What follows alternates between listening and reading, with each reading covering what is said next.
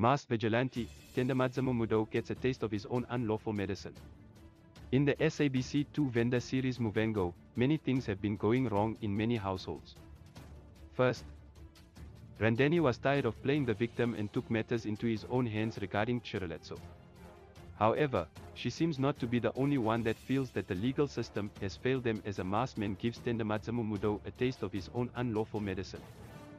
When James' mother reported the matter of Hulisani's murder to the police, she expected to no longer live in fear of what Tenda might do to keep her mouth shut. However, when the man was granted bail, she went back to living watching over her shoulder.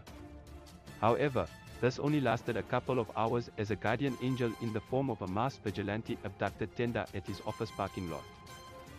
Mfo had been worried that her husband had not come back from the office the previous night is surprised to see police officers in her house accusing Tenda of running away and breaking the conditions of his bail.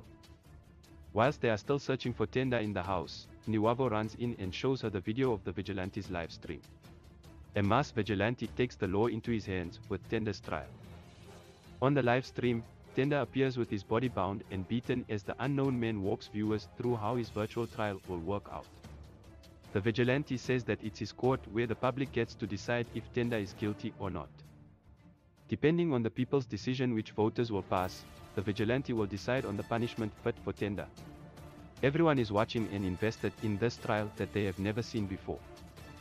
However, people viewing are posting their opinions calling Tenda a murderer and voting for him to die for his crimes. In the Motsama household, there are mixed feelings as they try to figure out if this is real or one of Tenda's tricks.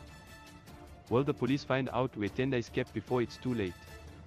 Most importantly, who is this masked vigilante and will he stop his work with Tendamudzimu alone? Please like, comment, share and follow this channel for more information or updates on news and entertainment.